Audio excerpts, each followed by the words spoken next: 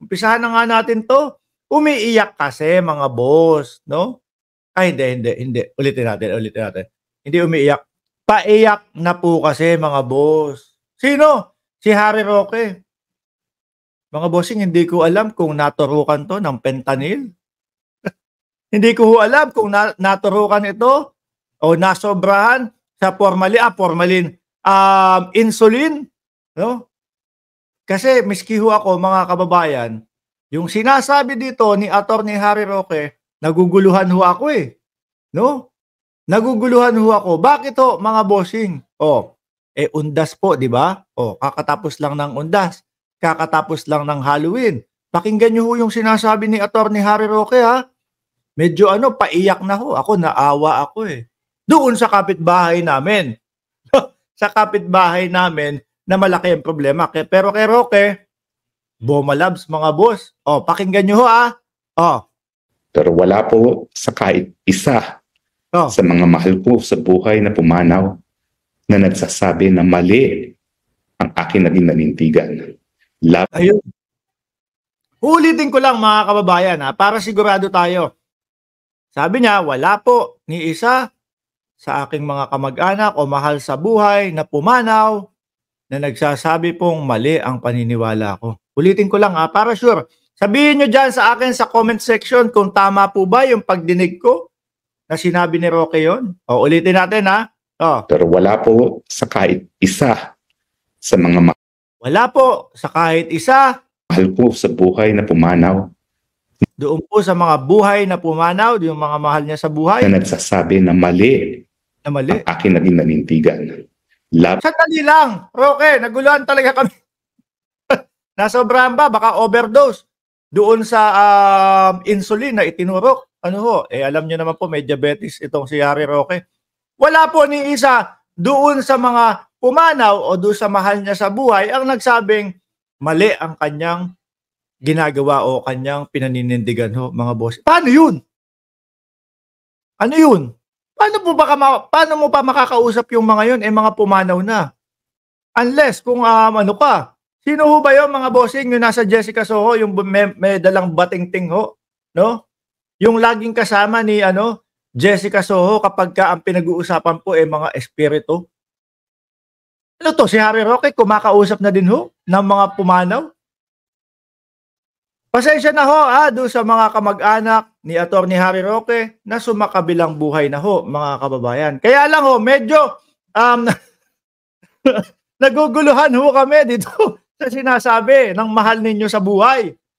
No, nakikipag-usap na ho yata sa mga tegi o nakikipag-usap na din sa espiritu. Sabi nung kumpare ko na si Just Vincent, si Ed Kaluwag. Oh, ulit. Isa pa hong ulit, mga boss. Pero wala po sa kahit isa sa mga mahal ko sa buhay na pumanaw Oh. na nagsasabi na mali ang aking naging nanintigan. Paano naman sasabihin nila yun sa'yo? Eh mga pumanaw na nga. Paano ho sasabihin yun?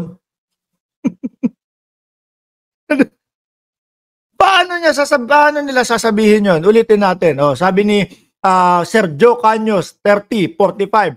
Scripture says, the dead knows nothing. O, di ba? Hoy, Ed Kaluwag, pasok. Naku ha, ha?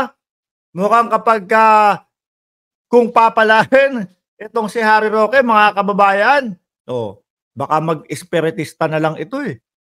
No? Kagaya ni Ed Kaluwag. Oh, mukhang maaagawan pa. Ah, maaagawan pa ng trabaho si Ed Kaluwag. Si Ed Kaluwag, eh, papayat-payat ho, mga bossing. Si Roque naman, medyo tataba-taba, no? Chubby.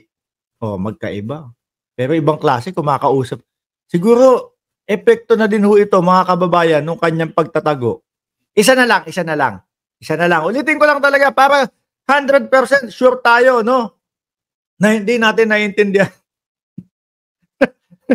na medyo nag-hallucinate na ho yata si Attorney Harry Roque. Gawa po nung stress ng pagtatago niya.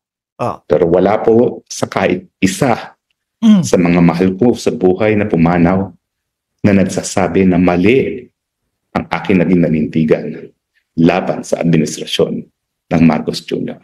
Oh, wala talaga magsasabi doon eh, mga tegi na eh. Di ba? Sa tingin ko po, Nakikita nyo po yung itsura ni Atty. Harry Roque, mga kababayan. Kita nyo po yung stress, no? Pero nung panahon na sila daw po ay nandoon, no?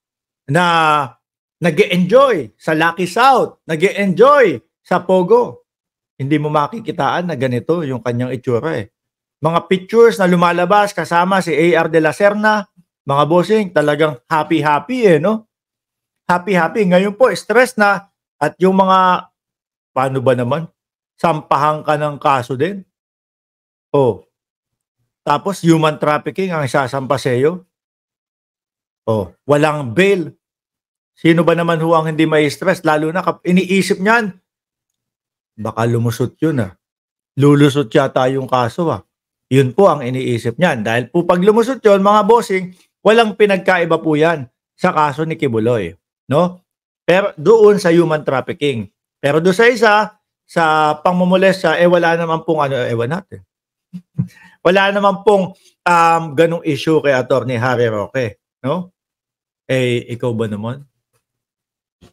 Nasa ano, sa ano ba yung uh, pinag-aaralan ni De La Serna? Flying school o magpipiloto si De La Serna? Di ba? Tuloy natin.